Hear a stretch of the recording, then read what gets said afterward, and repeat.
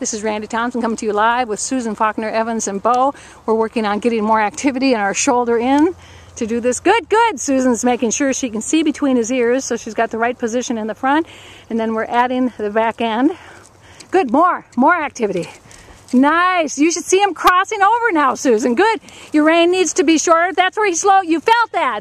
So you know when he comes up to the wall is where he starts shortening his steps, right? So you've got to find the spot where he starts getting sluggish. Good. More activity. Good, good. More activity right there, right there. That's where he starts taking short steps. You felt that with Darian in the walk pirouette? When he takes the shorter steps, you need to bring his shoulder over more. Good. Now feel when he takes the shorter steps. Look between his ears. How far do you have to bring his shoulder over so he gets looser? Right there. You feel it? Good. Yep, and sometimes it'll feel like it's a nose you have to bring over. So now you're going to play with what do you have to do at the front end to get the back to get them looser. Okay, we're going to change his shoulder. Woo! Good save, Susan. That's that troll in that corner. We're going to go from a shoulder in into a half pass now.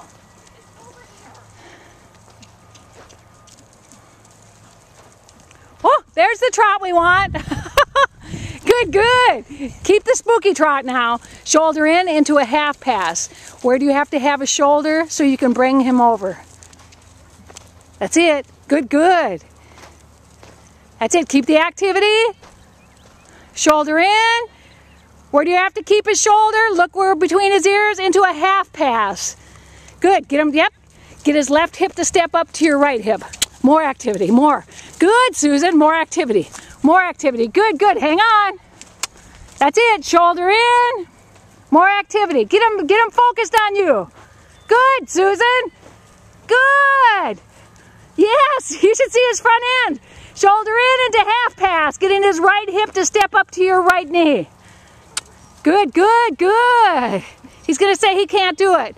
Get his right hip to step up to your right knee as you do. How much do you have to bring his nose to the right to get him to be in? That's it. So that he can carry himself in the half pass. Shoulder in. When you feel ready, you're going to ask him for a half pass because it's just a shoulder in. Get his right hip to step up to your right hip. More activity. More. More. That's all right. More activity. More.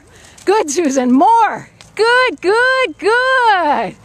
That's it. Change directions. A couple more, then we'll give you a break. Shoulder in. Can you see between his ears? Woo. That's it. See between his ears. Half, yep. Shoulder in. More activity into half pass. Getting his left hind to pick up towards your left hip. More. More activity. More. More. How much you have to bring his nose over? Good. More activity. Very nice, Susan. Into shoulder in. Change directions.